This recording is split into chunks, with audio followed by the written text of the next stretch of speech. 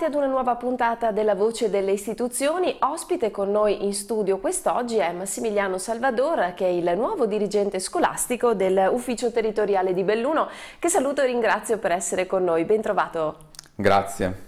Tanti argomenti di cui parlare dirigente, ma cominciamo subito con raccontare questa è la sua prima eh, voce delle istituzioni, proprio perché la sua è una nomina recente. Recentissima. Eh, io sono dirigente amministrativo dal dicembre 2019 presso il Ministero dell'Istruzione e ho superato un concorso pubblico nazionale e sono in servizio presso l'ufficio scolastico di Belluno eh, con funzioni di coordinamento delle attività dell'ufficio. Dell'attività appunto che viene portata avanti. L'incarico per quanto durerà? L'incarico ha durata triennale. Quindi, quindi, ci sarà modo insomma, di approfondire varie tematiche, vari aspetti per quanto riguarda la, la realtà appunto bellunese che, che, lei rappresenta e la popolazione scolastica che insomma è significativa.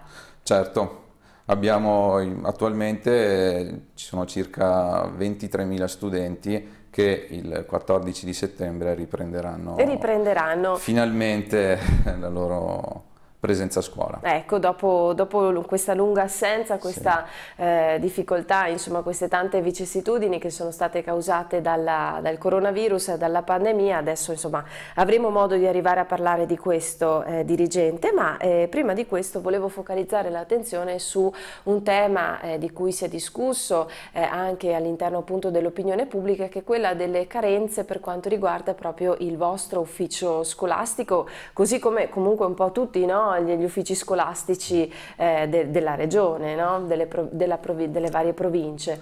Certo, la carenza di organico all'interno del nostro ufficio è oramai, si può definire storica perché nel corso degli anni eh, non si è eh, provveduto alla sostituzione del personale cessato, quindi per pensionamento o per altre cause e quindi eh, il personale si è progressivamente ridotto e le unità eh, non sono state poi sostituite. Ecco, quanti siete adesso attualmente? Quindi attualmente eh, sono sette, eh, sette, unità di personale ministeriale in servizio su 20, quindi la carenza di organico è di circa il 65%. Quindi sono significativa, pensiamo alla mole di lavoro sì. che ogni persona deve sobbarcarsi. Certamente, quindi appunto, si fa affidamento proprio al, al grande senso eh, del dovere e dello Stato di tutti i dipendenti dell'ufficio che riescono a portare avanti, nonostante le mie difficoltà, tutte le attività che certamente non sono diminu cioè diminuite ma anzi sono aumentate. Con, con questa eh, difficoltà Certamente. ulteriore provocata dal coronavirus. Tra l'altro il personale, lei stesso immagino anche eh, dirigente, eh, abbia applicato lo smart working durante il lockdown? Certamente, durante... Eh, eh, infatti a tutt'oggi rappresenta la modalità ordinaria di svolgimento della, del lavoro. Ecco, qual è il suo giudizio appunto su questa tipologia? Il mio giudizio è positivo, devo dire che cioè, l'esperienza che è stata vissuta nell'ufficio è stata positiva, ci sono state delle difficoltà ovviamente legate diciamo, all'utilizzo, cioè magari alla, alla, presenza meno di, eh, di tecnologia, quindi di dispositivi, ma eh, a livello di rendimento, eh, quindi le attività sono state comunque svolte in maniera, in maniera diciamo, positiva, quindi dal punto di vista del, sì, dello svolgimento Nessun, nessun, cioè non ho riscontrato nessun particolare problema. Diciamo appunto che eh, la pandemia fra i tanti aspetti ci ha insegnato forse a sviluppare anche modalità di lavoro alternative che forse prima non venivano considerate Certamente. nella dovuta eh, modalità probabilmente.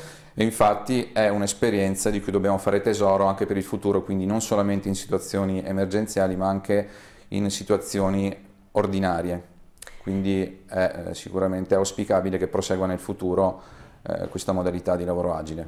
Senta eh, dirigente, veniamo appunto al tema caldo, no? quindi l'avvio dell'anno scolastico. Proprio questa settimana sono cominciati i corsi di recupero, quindi è partito il nuovo anno sì, scolastico. In realtà infatti gli studenti che eh, devono recuperare i debiti scolastici, quindi che hanno eh, avuto delle insufficienze in alcune materie, sono stati i primi a eh, rientrare in classe e quindi sono loro diciamo i, i primi eh, i primi alunni ecco, che sperimentano eh, l'inizio dell'anno scolastico.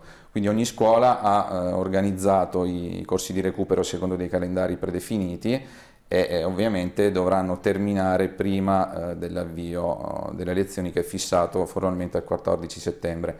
Gli alunni eh, dovranno sostenere quindi un, un, esame, un colloquio per valutare le conoscenze e le competenze acquisite durante il corso di, di recupero. Ecco, da quello che è il suo osservatorio privilegiato appunto, eh, diciamo, com'è stato questo test, questo, questa prova in vista del, dell'evento del 14 settembre? Sembra che eh, appunto sia andato tutto bene, quindi gli studenti hanno, hanno risposto bene, ovviamente eh, alle, anche diciamo, alle misure di sicurezza eh, che sono dettate dal, dall'emergenza sanitaria, quindi si sono dotati di, di dispositivi, quindi delle mascherine, l'igienizzazione delle mani e quindi sono stati attenti al rispetto delle, delle norme insomma, che sono fondamentali per prevenire rischi da contagio. Sia eh, il personale docente ma anche i giovani bellunesi, gli studenti comunque stanno dimostrando una eh, significativa responsabilità certo. no? nel mettere in pratica diciamo, che sono, eh, quelli che sono i comportamenti corretti per evitare la diffusione del contagio. Mi dice che appunto l'esperienza è stata positiva certo. quindi vediamo una forma di responsabilità. Sì, sì, il senso di responsabilità è veramente elevato quindi questo fa presupporre anche eh, un elevato senso di responsabilità da parte delle famiglie degli studenti. E quindi questo è, ha portato appunto a non, a non, riscontrare problematiche, quindi questo fa ben sperare anche per il proseguimento diciamo, dell'anno scolastico perché alla fine i pilastri su cui bisogna fondare diciamo, la propria presenza a scuola è, eh, sono appunto il distanziamento sociale, l'utilizzo della mascherina e l'igienizzazione frequente delle mani e certo. questo finora lo stanno applicando e sono sicuro che lo applicheranno anche nel futuro. Per eh, prepararsi comunque al 14 di settembre a questo avvio generalizzato appunto per tutti gli studenti, comunque eh, i docenti, i dirigenti scolastici insomma eh, si sono preparati appunto anche con dei corsi di formazione specifici specifica eh, proprio per capire no, quali sono anche le regole da, da seguire.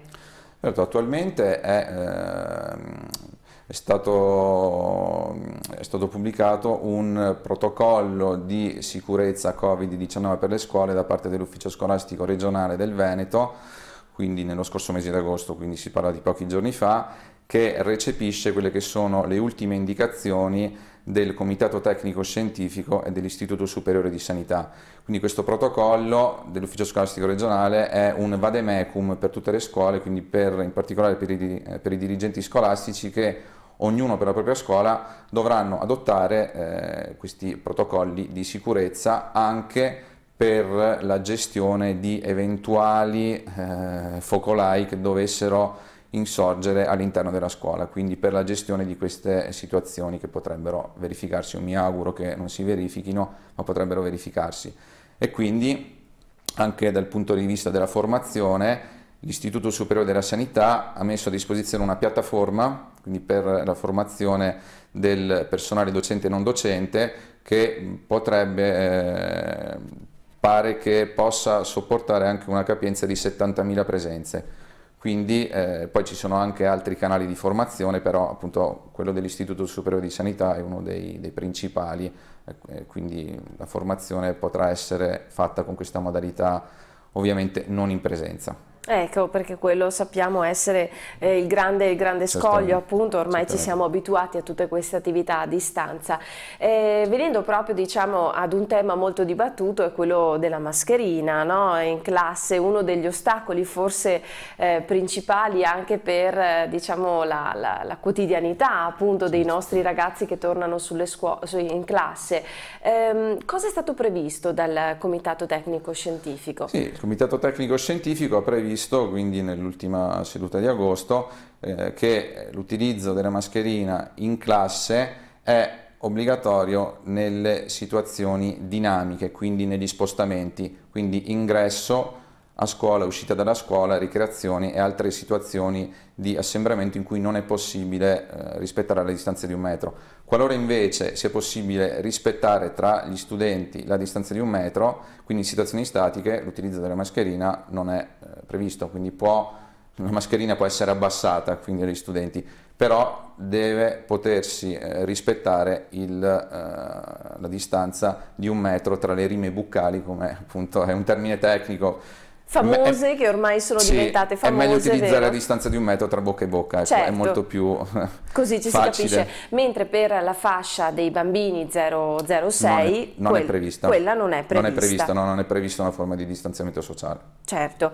Allora, eh, venendo quindi un pochino a questa, questa riapertura, eh, dirigente, quali sono comunque ancora le eh, criticità, insomma, dal suo punto di vista, eh, che le scuole bellunesi anche dovranno affrontare per prepararsi al meglio? Ci sono ancora delle note difficili da affrontare? Sì, c'è ancora qualche problematica in corso di risoluzione eh, per quanto riguarda gli spazi, quindi per quanto riguarda la capienza delle aule, perché comunque tutte le scuole della provincia di Belluno eh, si sono confrontate con gli enti locali competenti per l'edilizia scolastica, quindi per gli istituti superiori della provincia, per gli istituti comprensivi comuni, eh, per, eh, si sono confrontate per il recupero di, eh, di spazi didattici in modo da rispettare il distanziamento sociale. Quindi complessivamente la situazione nella provincia di Belluno è positiva, quindi c'è stata un, una buona risposta da parte degli enti competenti alle richieste e fabbisogni delle scuole. Quindi eh, attualmente, cioè, soprattutto in, per quanto riguarda sì, la, la, città di Belluno,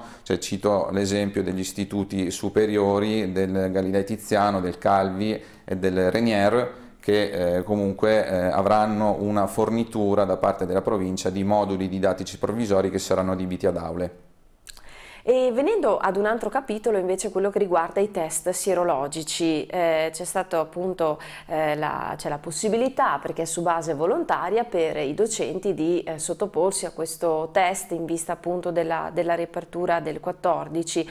Qual è la risposta secondo lei appunto dal suo osservatorio per quanto riguarda i docenti bellunesi?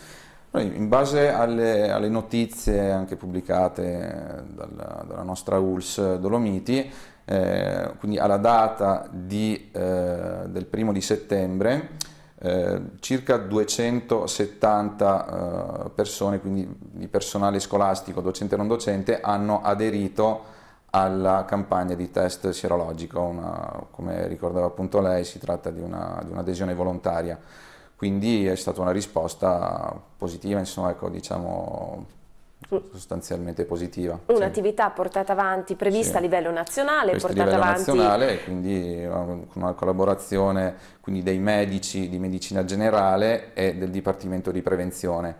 Quindi si tratta di un doppio canale, quindi, diciamo, i, eh, quindi il personale che si è rivolto al medico di medicina generale ha seguito quel tipo di percorso, invece qualora appunto si sia rivolto al Dipartimento di Prevenzione è invece stato seguito un altro percorso. Uh... Comunque un lavoro sempre di sinergia, di squadra. Sì, sì, Senta, stato... ehm, dirigente, veniamo ancora veloci perché abbiamo ancora un paio di temi prima di, di doverci salutare. Eh, abbiamo parlato di personale docente, una delle, delle criticità riguarda comunque la carenza no? del, del numero proprio dell'organico a disposizione. Ci sono ancora cattedre mancanti anche in provincia. Sì, ci sono, ahimè, come tutti gli anni, ci sono molte cattedre che mancano l'appello eh, quindi le disponibilità sono molte, tuttavia il contingente che ci è stato assegnato dal Ministero è ovviamente inferiore, quindi ci saranno molte cattedre che rimarranno scoperte. Eh, attualmente sono in corso le procedure di missione in ruolo, perché quest'anno c'è la novità della eh, informatizzazione della procedura di eh, immissione in ruolo, quindi attraverso una piattaforma che è stata eh, ideata dal Ministero dell'Istruzione, quindi attualmente è in corso la procedura di missione di ruolo ordinaria che sarà poi seguita da un'ulteriore procedura di chiamata veloce, si chiama call veloce e quindi che dovrebbe terminare eh, quindi il, il, prossimo 7 di settembre. All'esito appunto della questa call veloce è destinata anche ai docenti di fuori regione, questo è importante sottolineare, quindi ci possono essere, si potranno verificare delle ipotesi in cui i docenti da fuori regione chiedano di essere assegnati alla provincia di Belluno come docenti. Senta, un ultimo tema, eh, si è parlato anche dei banchi, dei nuovi banchi eh, funzionali proprio alla situazione e al contesto attuale dettato dall'emergenza coronavirus. Anche il territorio bellunese è stato coinvolto da questa attività? Certamente sì, è stato fatto un apposito monitoraggio eh, proprio per rilevare le richieste di fabbisogno di banchi e sedie da parte delle, da parte delle scuole. Quindi le scuole hanno in gran parte risposto e eh, quindi nei prossimi giorni eh, appunto il, il Ministero eh, provvederà alla distribuzione dei banchi in base ai fabbisogni eh, avanzati dalle scuole. Quindi un'ulteriore misura sì. per garantire appunto certo. questa ripresa generalizzata del 14 settembre così insomma certo. i nostri giovani bellunesi potranno ritornare in classe, rincontrare i propri amici, socializzare, quello che serve per, per la loro età. Grazie al nostro dirigente Grazie. Salvador che è stato qui con noi, io le auguro buon lavoro lavoro perché sarà un anno impegnativo questo. Grazie, avrò bisogno di tutta la forza possibile. e noi ci rivediamo, grazie a tutti quanti voi, buona continuazione d'ascolto, arrivederci.